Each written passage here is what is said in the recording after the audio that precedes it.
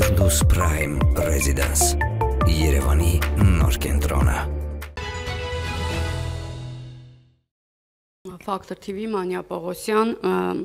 Բագրատ arczepiskopos Գալստանյանը հայտարարել էր, որ հանդիպել է Ռոբերտ Քոչարյանին եւ Սերժ Սարգսյանին, երեք էլ նա այդ մասին նշեց, այդպես էլ չհստակեցնելով, թե ինչ հարցեր են քննարկվել։ Որպես քաղաքական թիմի ներկայացուցիչներ, տեղյակ եք ինչ հարցեր են քննարկվել, արդյոք որևէ պայմանավորվածություն ձեռք բերվել է թե ոչ, եւ այս փուլում ձեր քաղաքական թիմը աջակցում է սրբազան շարժմանը թե ոչ։ Շնորհակալություն։ Այո, մենք աջակցում ենք սրբազան շարժմանը, դրա մասին ասել ենք բազմիցս եւ որևէ այլ նպատակ կամ թե գործող ազգադավ իշխանության հերացումն է չկա որովհետև սա այն պայքարի տրամաբանական շարունակությունն է, որը սկսվել է դեռևս 2020 թվականի դաժան պարտությունից հետո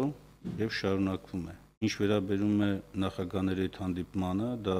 Բաքրատ arczepiskopos-ի նախաձեռնությունն է, ինչ են քննարկել կարող են կողմերը բացահայտել, բայց երեք, եթե չեմ սխալվում, Սրբազանը ներկայացրեց իր մոտեցումները, իր լուծումները, իր ազատությունը այդ առումով եւ հետեւաբար այստեղ որևէ այլ մոտեցում կամ այլ չգիտեմ, ինչ որ ստվերային բան ման գալը, կարծում եմ ճիշտ չէ, ինչպես նաև Սրբազանը ասեց, ինքը դիմել է եւ հանդիպում է շատ-շատ այլ նաև անձանց հետ, որևէ այստեղ արտարոց բան չկա։ Իդեպ անդրադառնալով այս եւ դրա վերաբերյալ արդեն իշխանության այսպես հայտարարություններին կամ գնահատականներին եւ պարոն Խաչատրյանը քիչ առաջ պատասխանված հարցերի համատեքստում, հա, Նիկոլ Փաշինյանը եւ ԿՊ-ական ակտիվը տեսեք ինչ արատավոր վարկագիծ են դրսևորել։ Իրենք բերում են ադրբեջանական օրակարգը ասպարես, իրենք սկսում են քննարկել այդ օրակարգը, հետո դա վերագրում են ընդդիմության վրա։ Ընդդիմությանը կամ Բակրատ Սրբազանին կամ բոլոր այն մարդկանց, ովքեր որ փորձում են պահանջել հաշվետվություն, փորձում են պահանջել ազգային ուղեգծի վերականգնում, փորձում են պահանջել դիմադրության ներկայացում, հա երեք էլ ամբողջ ընթացքում ազգային ժողովում հարց պատասխանի ժամանակ կարմիր թելով գնում էր այս գաղափարը անգամ հասավ այնտեղ Նիկոլ Փաշինյանը որ Արցախի ժողովրդի միջազգային երաշխիքներով երաշխավորված վերադարձի իրավունքը նա համարեց ադրբեջանական օրակարգ։ Հասկանում եք ուր ենք հասել։ Այսինքն այս մարդը եւ ԿՊԱ-ական ակտիվը ամեն ինչ անում է, որպեսզի Հայաստանը եւ հայ ժողովուրդը որպես սուբյեկտ, որպես տարածաշրջանում դերակատարություն ունեցող, որպես միջազգային ասպարեզում միջազգային իրավունքի սուբյեկտ հանդիսացող ինչքան հնարավոր է նսեմանա։ Իրանց կարճ խելքով հավանաբար մտածում են, որ իշքան աննշան դառնանք, այնքան մեզ չեն նկատի։ Դա абսուրդ է։ Իշքան աննշանի ձգտումը վերում է ոչնչացման, այլ ոչ թե ուղակի հանգիստ ապրելուն։ Հանգիստ չի կարա հայ ժողովուրդը ապրի այնքան ժամանակ, քանի դեռ այդ կամքը, վճռականությունը ազատ ապրելու միջազգային ազգերի մեջ պետականության միջոցով առաջ գնալու վճռականությունը հաստատված չէ։ Բակրատ Սրբազանի եւ մեր բոլորի պայքարի իմաստը, նպատակը սա է։ Սիվիկեյեմ Շնորհակալ եմ։ Երեք հանրային հերոստանգերությամբ Բագրատ Գալստանյան ուղ եթերով նշեց, որ բոլոր առումներով կտրորի ոստիկանապետին, որ խուլիգանին խուլիգանություն է հասնում, սպառնալիք կարելի ասել հնչեց։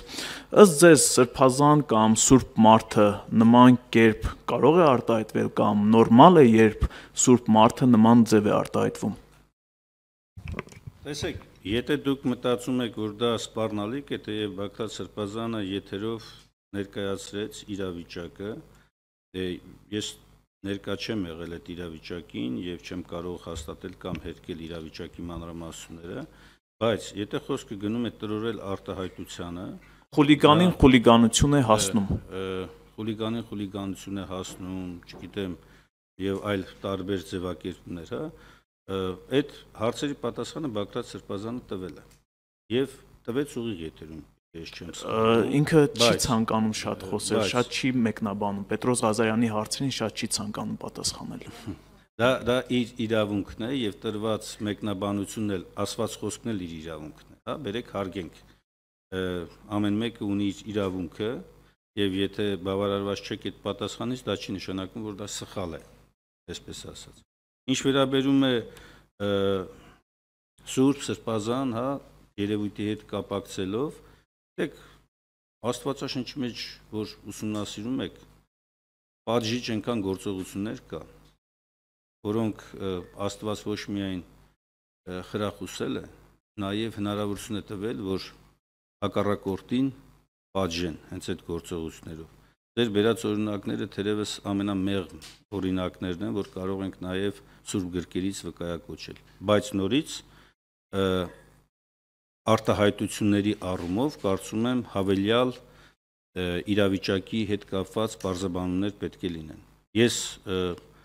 անձամբ ներկա չեմ եղել։ Չգիտեմ ոստիկանապետը ինչ արտահայտություն է արել, թեև պարոն Արամ Հովանեսյանի հետ իմ հարաբերությունները երբեք չեն եղել այնպեսին, որ նման արտահայտություններ, հա, իրար նկատմամբ փորձ են կիրառել, հակառակը եղել են շատ դեպքեր, երբ որ համագործակցություն է ուղղակի տեղի ունեցել եւ դրական արդյունք եղել։ Ինչ է տեղի ունեցել երեք։ Կարծում եմ այդ հենց այդ միջադեպի մասնակցության հենքի վրա պետք է լինի։ Ի վերջո կա իրավական համակարգ։ Եթե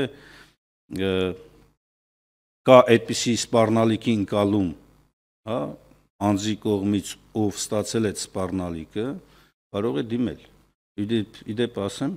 ազգային ժողովի ամբիոնից, երբ որ բազմաթիվ կպեականներ, սպառնալիքներ են տեղում ընդդիմության հասցեին եւ մասնավորապես իմ կողմից բազմիցս հաղորդումներ, երբ որ ուղարկել եմ քնչական մարմիններ, գիտեք ինչ են բարձաբանում, պատասխանում,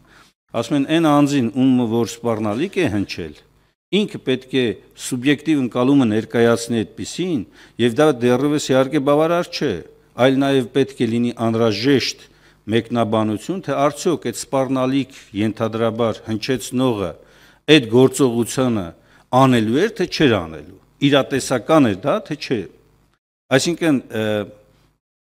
նույնիսկ մեր իրավական համակարգում այսօր մենք ունենք նախադեպեր կարճված